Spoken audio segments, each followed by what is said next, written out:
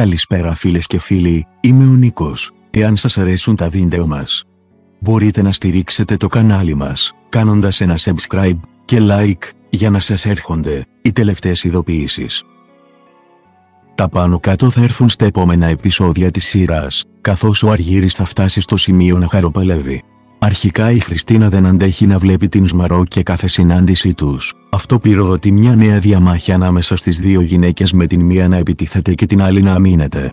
Μάλιστα κάποια στιγμή η Σμαρό είναι με τα παιδιά της, τον Αργύρη και την Αναστασία και βρίσκονται καθοδόν για το σπίτι τους. Όμως εκείνη την ώρα τυχαίνει να περνάει δίπλα τους η Χριστίνα με τον Κλειάνθη.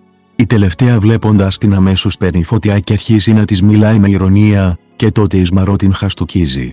Θα μου το πληρώσεις, όσο και να το προσπαθήσετε ποτέ δεν θα γίνετε σαν εμάς, της λέει με μίσος, και τότε ο Αργύρης της απαντάει, έχετε δίκιο, ποτέ δεν θα γίνουμε σαν εσάς. Αργότερα ο Αργύρης, που έχει μάθει πλέον ότι είναι παιδί του Κλεάνθη, θέλει να αναπτύξει καλή σχέση με τα αδέρφια του γι' αυτό και πηγαίνει στο σπίτι του Βαρέλα και του ανοίγει ειρήνη. Θέλω να μιλήσουμε, της λέει. Δεν είσαι ευπρόσδεκτος εδώ, δεν έχουμε τίποτα να πούμε, του απαντάει εκείνη. Είμαι αδερφός σου, δεν φταίω εγώ για αυτό. Ό,τι και να έκαναν οι γονείς μας δεν έχει να κάνει με εμάς.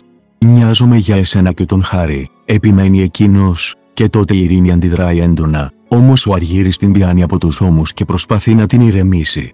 Εκείνη την ώρα μπαίνει η Χριστίνα στο σπίτι μεθυσμένη, και αμέσως αρπάζει έναν χαρτοκόπτη, αφού νομίζει ότι ο Αργύρης πάει να βιάσει την κόρη της, και έτσι του ορμάει και τον καρφώνει στο στέρνο. Εκείνος αιμόφυρτος οριάζεται πάνω στον καναπέ, με την ειρήνη να είναι σοκαρισμένη. Αμέσως μετά μπαίνει στο σπίτι ο Κλεάνθης και τρέχει να καλέσει ασθενοφόρο, αλλά η Χριστίνα τον σταματάει.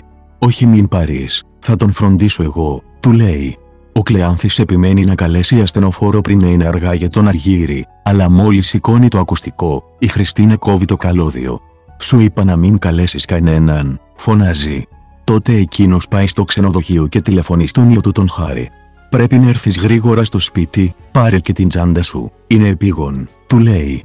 Ο Χάρης όντως πέφτει στο πατρικό του και μένει άφωνος όταν βλέπει τον Αργύρη σε αυτήν την κατάσταση. Μαζί με τον Κλεάνθη τον πηγαίνουν στο δωμάτιο, όπου του προσφέρει τις πρώτες βοήθειες. Ο Χάρης περιποιείται το τραύμα του, που δεν είναι πολύ βαθύ. Μέσα στην παραζάλη του Αργύρης του λέει «Σε ευχαριστώ αδερφέ μου που ήρθες» και ο Χάρης χάνει την γη κάτω από τα πόδια του, καθώς είναι ο μόνος που δεν γνωρίζει ότι είναι αδέλφια. Μείνετε συντονισμένοι στο κανάλι μας, για να μαθαίνετε πρώτοι όλες τις εξελίξεις, έρχονται πολύ συναρπαστικά επεισόδια.